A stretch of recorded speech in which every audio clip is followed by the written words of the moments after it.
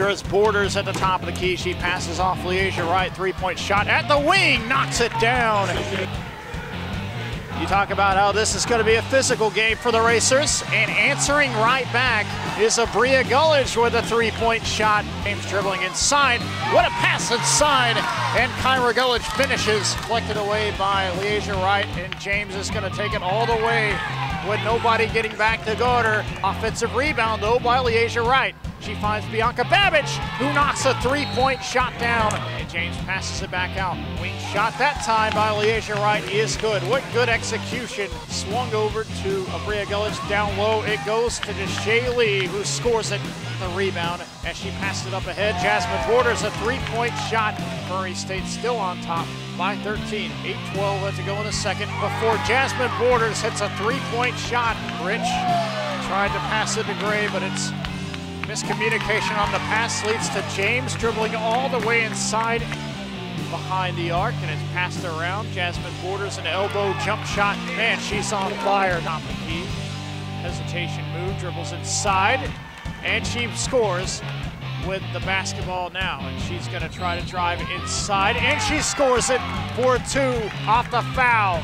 And Austin Peay will not even attempt to do the half half-court shot there. And that'll do it for the second quarter. 38-31, Murray State on top by seven. Three-point shot the other way by Austin Peay That was no good off the front rim. Here comes Deshae Lee off the pass from Leasia Wright, and she scores it inside for two. Maria Gullidge left corner three-point shot is good, and Murray State retains the lead, 48-47.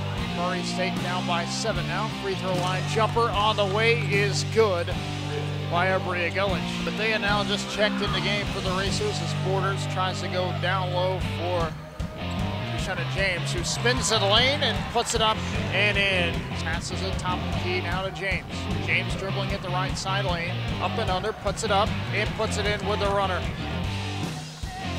James passing to the corner, three-point shot on the way by Babbage is good.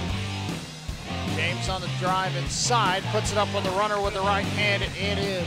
Four minutes and 30 remaining in the fourth. Three-point shot on the way by James is good. Babbage at the corner.